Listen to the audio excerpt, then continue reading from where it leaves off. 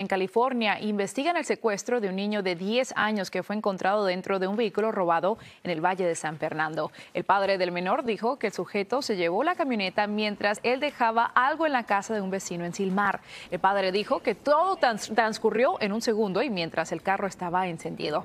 Los vecinos que oyeron los gritos del hombre porque dentro estaba el niño comenzaron a perseguir ese carro y la policía sigue tras la pista del sospechoso.